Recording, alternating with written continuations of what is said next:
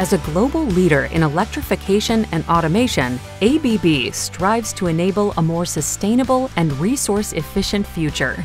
ABB's products and solutions underpin the climate goals of thousands of organizations around the world, but the company also aims to make its own operations carbon neutral by 2030.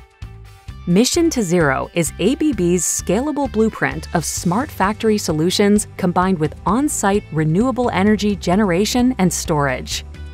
The company has implemented this program at several of its factories, the most recent in Senatobia, Mississippi, the first Mission to Zero site in the United States. The facility manufactures low voltage circuit breakers and enclosed automatic transfer switches used in a wide range of commercial, industrial, and critical infrastructure applications. It's a bright, modern factory, and now it's outfitted with on site solar power generation, a battery energy storage system, and an integrated control system. Everything is connected via a microgrid that delivers a reliable power supply, maximizes on site solar production, and insulates the factory from grid disturbances.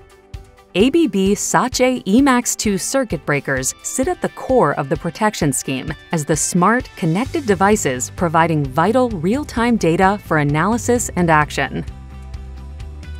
ABB Ability Energy and Asset Manager cloud based analytics software monitors data from the connected devices. Collected data can then be compiled in reports and reviewed for trends down to the device level. ABB's Optimax balances on site solar with power coming from the local grid. It also controls the battery energy storage system, which in turn helps to optimize the solar array, storing energy for use when the sun goes down. The Senatobia project will serve as a working showcase of the company's technology. ABB expects the initiative to yield a reduction of more than 25% of CO2 emissions due to the installation of the solar field, which can produce approximately 750,000 kilowatt hours of energy annually.